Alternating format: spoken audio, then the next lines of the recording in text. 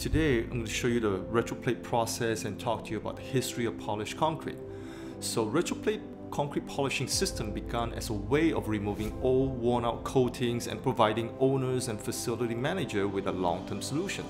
Rather than simply covering the floor, Curecrete Distribution looked for ways to use and enhance existing concrete.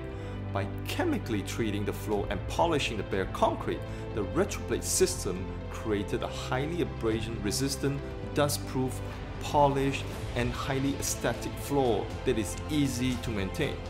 This was a long-term solution many in the concrete industry were looking for.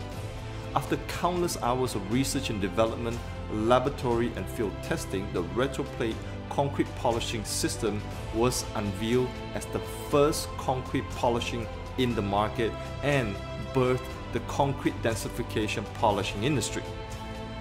The retroplate system was used to refurbish and retroplate existing floor. Owners, architects and other involved begin to realize that this system would be ideal for newly constructed floor. Therefore, they began to specify the retroplate system on their new floor, creating the ideal floor finishes while avoiding the coating and covering pitfalls of traditional methods. The retroplate system quickly evolved into a system for new concrete. The retroplate system is now used in new construction on existing floor and in conjunction with acid staining, integral color, shake-on hardener, as well as cementitious terrazzo.